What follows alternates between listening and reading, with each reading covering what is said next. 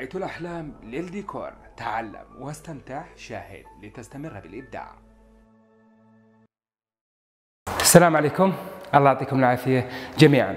اليوم بدنا نعلمكم طريقة قص الجبصين كرانيش الجبصين بطريقة آه، الصحيحة اللي هي زاوية 45 آه، طبعا هاي القص على الماكينة وليس يدوي. آه، نفس التطبيق اليدوي ولكن آه، على الماكينة بتيجي أدق بكثير. يعني بتيجي معي بالليبرا بالملي. إنه واحد زائد واحد يساوي اثنين.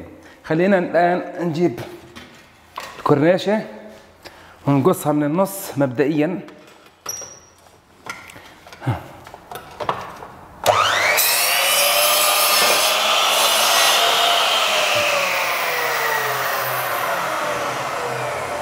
ومبدأها سهل طبعا.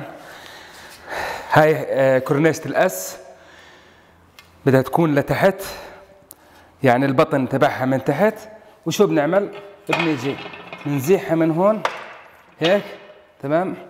وشو المهم؟ إنه أنت ما تحطها مستقيمة هيك وقوف. ما تحطها مستقيمة. لازم تحطها إيش؟ بالميل. ها؟ بالميل لما تكون هاي واصلة لتحت. الحفة لتحت. تكونها واصلة مية بالمية. يعني هاي الحفة هاي تكون ملاصقة بشكل كلي مع ال ال وجه السكيل. تمام؟ مجرد ما سويناها زي هيك الموضوع صار أسهل علينا بكثير. طبعا بنزيح لهون قدر الإمكان. وهيك. هاي الأولى. وهاي الثانية نفس السيستم القطعة الثانية.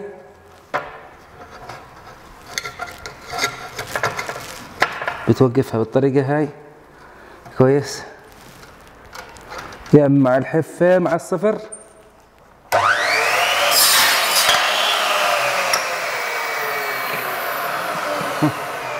وبعدين هيك. بكون راكب على بعضه مية بالمية. بس هاي هي طبعا خلينا نجرب كيف بنركبها فوق.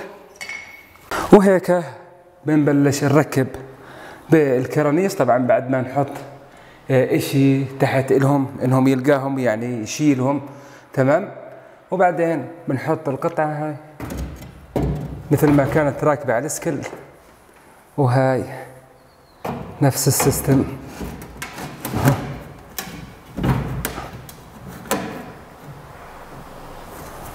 أيوه تتقرع من هون ومن هون. وهيك بتكون طبعا جاهزة للتشطيب. معروف إنه بدك تشتغلها جبصين وليف من الخلف تمام؟ بعد ما تسقيها وتركبها معك 100% المهم إنه هون التغليق لما بدنا نيجي بالمكشطة الفرنسية يكون معاي مبين إنه تغليق 100% ولطيف وسهل إنه تشطيب آه باعتقادي إنه القص على السكيل أسهل من القص اليدوي بعطيني نتيجة 100% طبعا هيك عملنا قياسين للزبون بحيث إنه يشوف وينقي شو الارتفاع اللي بده إياه. هل إنه بده نزول فرنسي أو نزول أوروبي؟ الأوروبي دائما بتكون الإنارة يا دوب مبينة مش آه، زي الفرنسي. والله يعطيكم الصحة والعافية. السلام عليكم.